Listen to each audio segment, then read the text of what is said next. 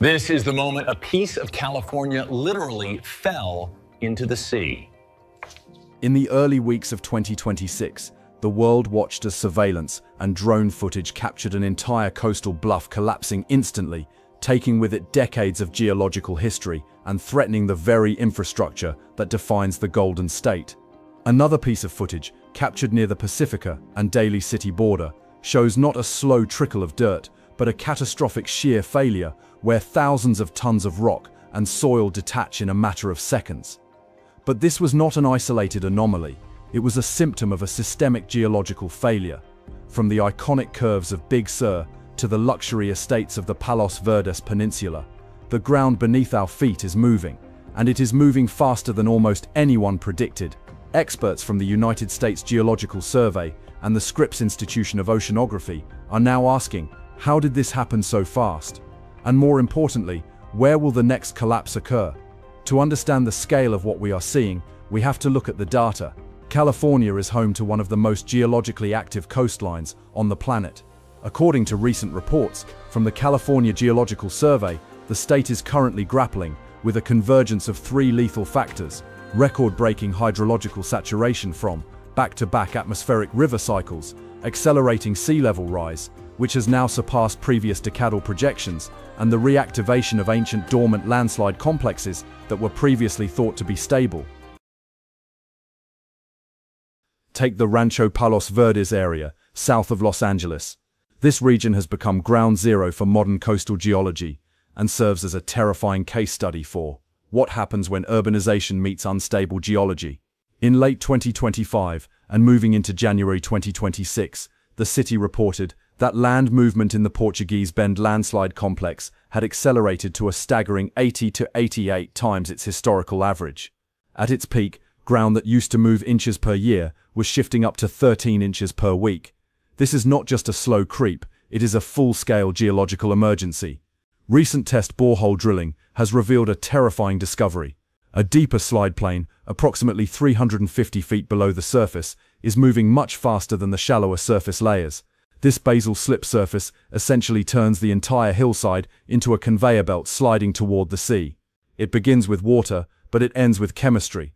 When California experiences intense winter storms, rainwater doesn't just run off, it infiltrates deep into the earth. In areas like Palos Verdes, this water reaches a specific geological culprit, the Altamira Shale, part of the Monterey Formation. Within this shale lies a layer of bentonite clay.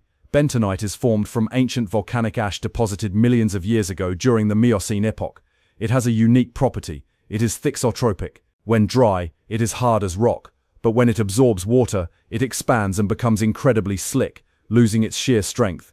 It acts effectively like a layer of industrial grease, allowing massive slabs of the earth weighing millions of tons to slide toward the ocean under their own weight.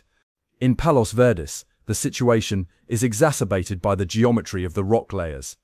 The rock beds here dip toward the ocean, a condition geologists call a dip slope. This means the layers of rock are tilted like a ramp leading directly into the sea. When the bentonite clay layers between these rock beds get wet, gravity simply pulls the top layers down the ramp. This is why the land movement is so persistent and difficult to stop. The crisis in Palos Verdes has escalated beyond cracked pavement. In 2024, the movement became so severe that utility companies were forced to cut off natural gas and electricity to hundreds of homes.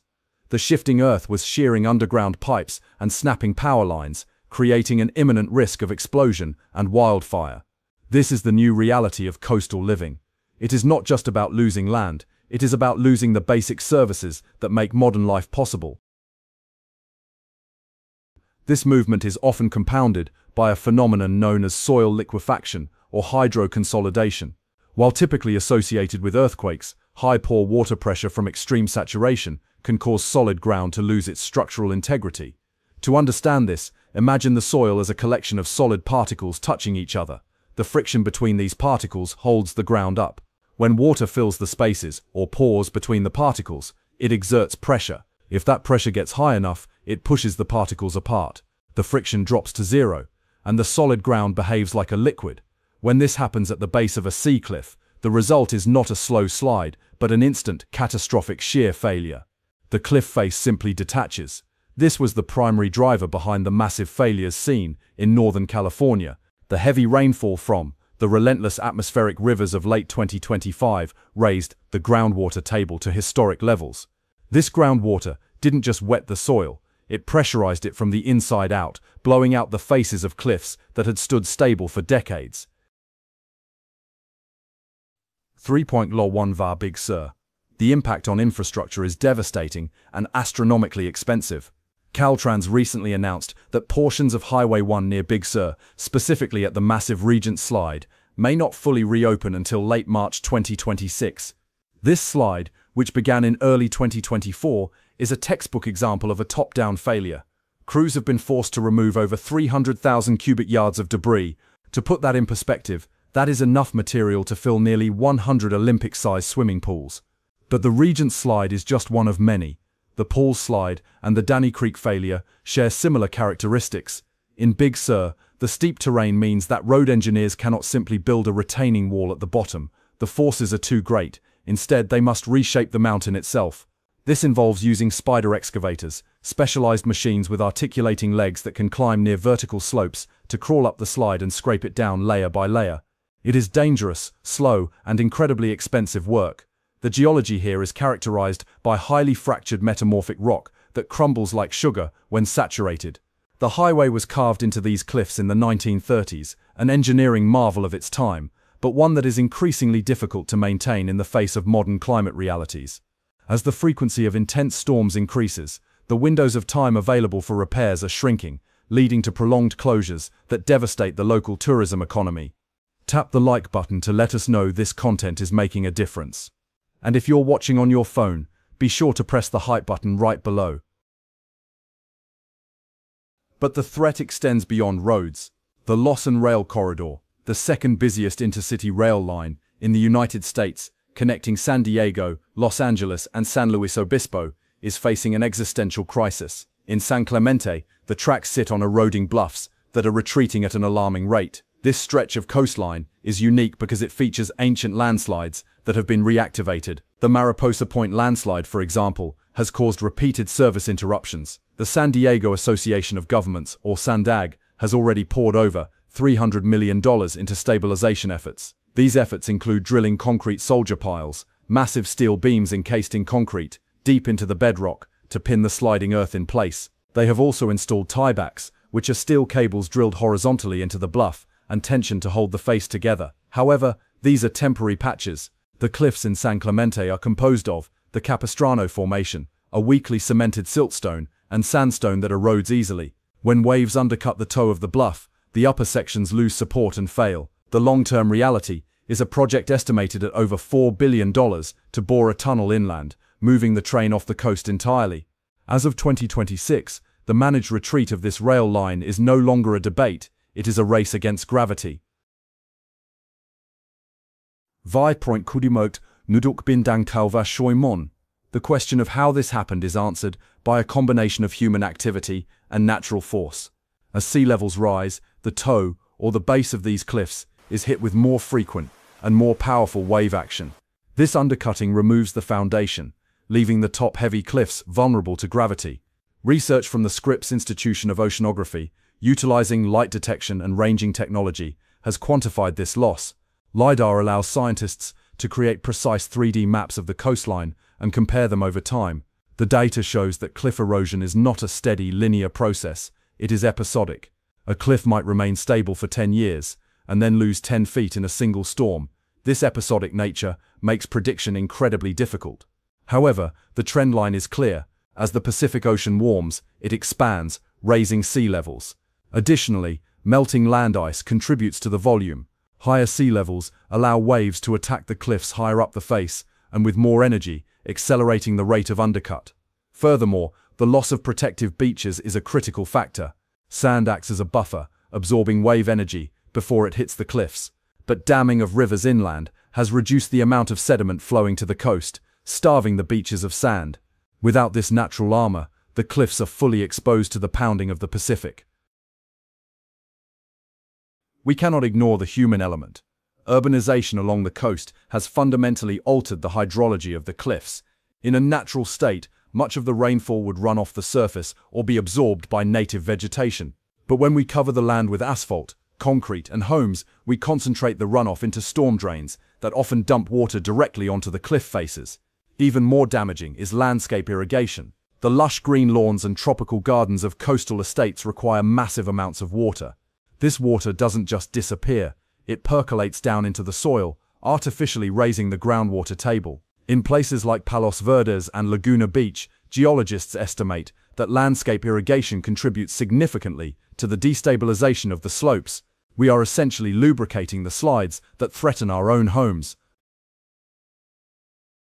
But for those living along the coast, the concern is personal. People want to know, is my home safe? Experts point to specific warning signs that every coastal resident should monitor. First, look for new or expanding cracks in foundations, driveways, or patio slabs. Pay close attention to cracks that run parallel to the coastline, as these are often tension cracks, indicating that the ground is pulling away toward the slope.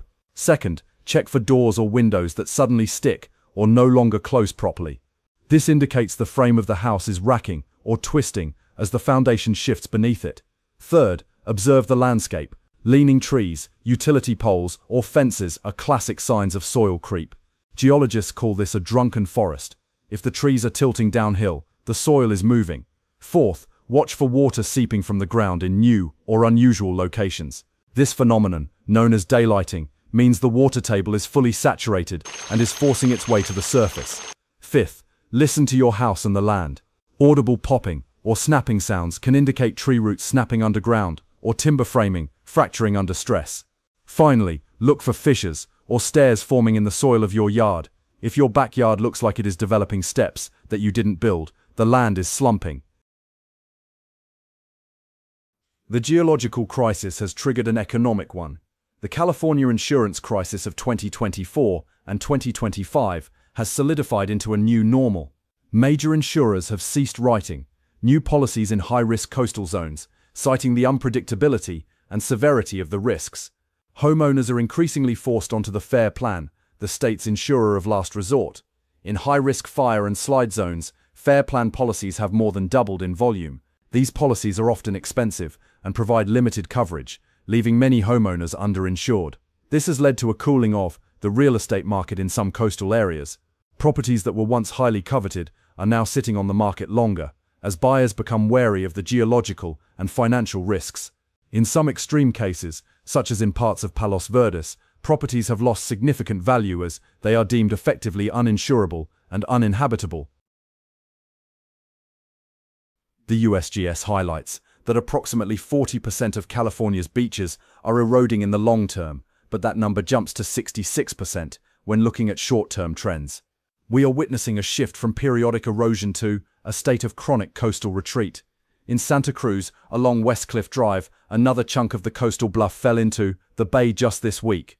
While the pedestrian path remains open for now, city officials have been forced to install water-filled barriers and are considering a strategy known as managed retreat. Managed retreat is a controversial but necessary shift in policy. It involves the difficult process of literally moving roads, utilities and homes inland because the battle against the Pacific is one we can no longer win. In Santa Cruz, plans are already in motion to realign a 400-foot stretch of road near Lighthouse Field State Beach, moving it 50 feet inland. This strategy acknowledges that traditional hard armoring techniques, like seawalls and riprap, have consequences. While they may protect the property immediately behind them, they often accelerate erosion on adjacent beaches by reflecting wave energy. They also prevent the natural erosion that supplies sand to the beaches, eventually leading to the disappearance of the beach itself. The California Coastal Commission has become increasingly strict about approving new seawalls, favoring softer solutions or retreat whenever possible. We are entering a new era of coastal management. Organizations like the California Ocean Protection Council are now using advanced technology to monitor the threat. Satellite interferometry, or INSAR, uses radar images from space to measure ground deformation down to the millimeter. This technology allows scientists to see the pre-collapse deformation that is invisible to the naked eye. By comparing radar images taken over time, they can generate heat maps showing exactly where the ground is inflating or deflating. In Palos Verdes and other critical zones, this data is combined with ground-based GPS sensors and tilt meters. These instruments provide real-time data on Earth movement. In some locations, acoustic sensors are used to listen to the soil. As the grains of dirt slide past each other, they generate high-frequency noise that can indicate an acceleration of movement before it becomes visible on the surface. Dewatering is another engineering solution being deployed. In the Portuguese Bend area, the city has installed hydraugers, which are horizontal gravity drains drilled into the hillside. These pipes act like straws, sucking groundwater out of the slide plane and draining it away to the ocean. By reducing the water pressure within the landslide, engineers hope to increase friction and slow the movement. However, in the face of record-breaking rainfall, even these measures can be overwhelmed. If you found this video helpful, don't forget to hit the bell, share it with your friends and subscribe if you haven't already. Thanks for being with us on this great journey. Leave your thoughts in the comments and like to help us. Remember to subscribe for more. See you soon.